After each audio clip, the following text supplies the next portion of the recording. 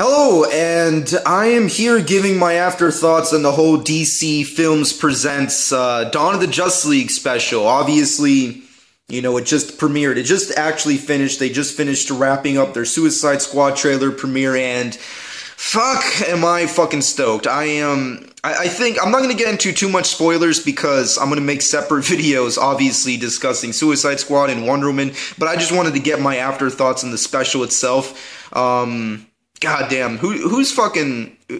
Oh my god, I can't even speak anymore. It's so the hype is real. This shit. I think the best thing to take from this special is the scope that they're going with this Justice League universe, as they're calling it.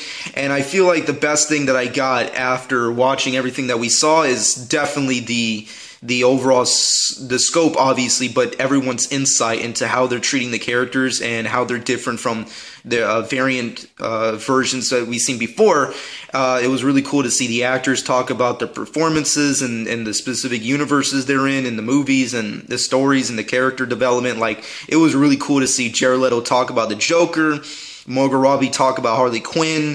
Uh, freaking, we had Jason Momoa and freaking Ezra Miller and Ray Fisher talk about Batman Superman and freaking their respected characters, which was so freaking cool. I did not expect them to be a part of this, um, especially considering I'm kind of like, if you will, burnt out on hearing Zack Snyder and Ben Affleck talk about it, you know, for so long. I mean, I I already get it. I, they're fucking. They talked a lot about it, so I'm okay with it. But I, I think the really cool thing to take away from it as well is um, Kevin Smith and Geoff Johns presenting it. I thought I thought it was going to be a little bit more fanboy isms in there, if you will, because I, you know, Kevin Smith obviously dedicates an entire podcast to his fanboy stuff, and I thought it would have been a lot like that in style but it was very professional and I liked it. I, I don't know. I just overall I loved the special. I thought it was awesome, badass. This isn't really like a, a, review, if you will. I just wanted to say how fucking stoked I am after seeing all this shit. I mean, the Wonder Woman stuff, the Suicide Squad stuff. Once again, I'll, I'll talk about that in separate videos, but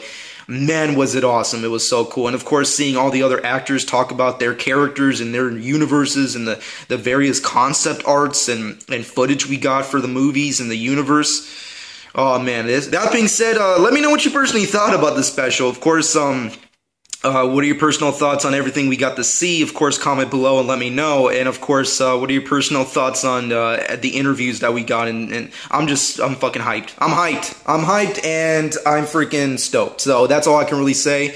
This was an enjoyable special. I hope Warner Brothers does more like this. I mean, now that they have uh, the capability of using CW to their advantage as a real platform, I feel like this is the way to go. Just do more stuff like this for future projects uh, to come, and I think you'll please everybody. And this was awesome. It was a great special. I liked it. So that's all I really can say. But let me know what you personally think in the comments section below.